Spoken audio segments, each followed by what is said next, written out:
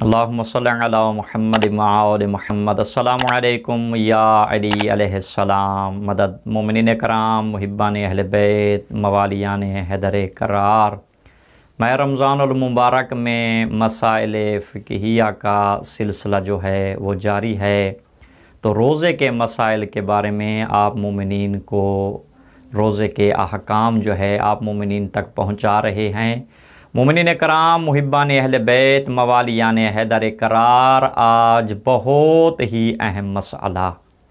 जो अक्सर मोमिन और मोमिनात इसके बारे में सवाल करते रहते हैं कि नमाज़ जो बंदा नहीं पढ़ता, लेकिन रोज़ा रखता है, आया इसका रोज़ा सही है या सही नहीं है?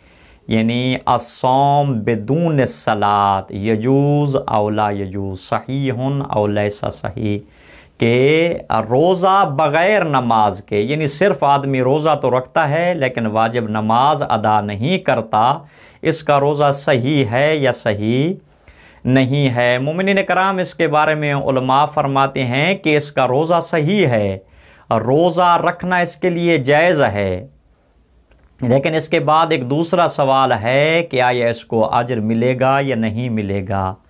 तो इसके बारे में जो है उलमा फरमाते हैं कि इसका रोज़ा सही है, लेकिन हकीकी रोज़ेदार ये तब बनेगा जब ये नमाज़ भी अदा करेगा।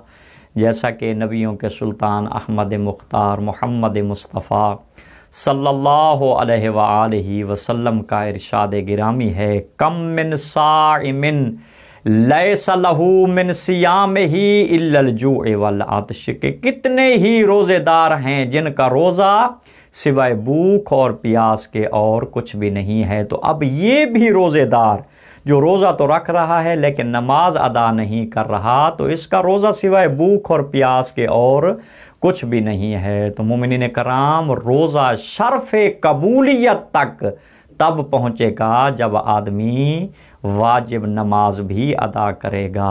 वाजिब नमाज़ अदा करके आबार गए इलही में अपने रोज़े के कबूल होने की दुआ मांगेगा। मुमिन कराम, कल के आने वाला जो दिन है योम अरबिया यानी बुध का दिन है, उस दिन का जो ज़िक्र है, आपने एक सौ दफ़ा, यानी आपके पास जो तस्बी है, इसके कुल जो है दाने एक सौ एक हैं। तो पहला दाना छोड़ के हर दाने के ऊपर बिस्मिल्लाहमान रहीम पढ़ने के बाद आपने ये ज़िक्र पढ़ना है, या हयो, या कयूम, या हयो, या कयूम, या हयो, या कयूम। ये नमाज़ सुबह से लेकर बुध वाले दिन, नमाज़ मगरब तक आप इस ज़िक्र को बजा ला सकते हैं। बारगाह अमीरमिन से दुआ करते हैं, अल्लाह ताला तमाम मुहिबान अहल बैत के नेक शरी मकासद पूरे फरमाए। इस मह रमज़ानमबारक में वाजबात बजा लाने की तोफ़ी इनायत फरमाए। अल्लाह सल महमद वाल महमद वाजिल फ़रजा